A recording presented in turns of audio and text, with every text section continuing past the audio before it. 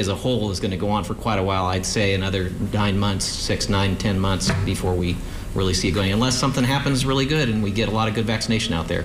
Since the hepatitis A outbreak started 10 months ago, there have been nearly 1,100 reported cases of the virus and eight deaths in Kentucky. 540 cases, and four of the eight deaths are in Louisville. Majority of our cases have risk factors of either homelessness, unstable housing, or recreational drug use. But recently, we're seeing a growing number of cases in people with no risk factors.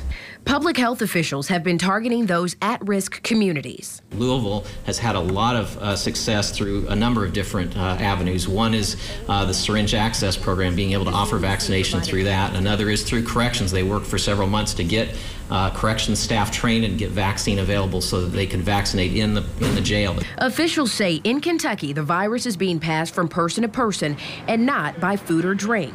Public health officials have been in close contact with local restaurant associations to get employees vaccinated. I want to emphasize again that the risk of catching hepatitis A from an infected food worker is extraordinarily low. The CDC sent a team to Louisville in early February.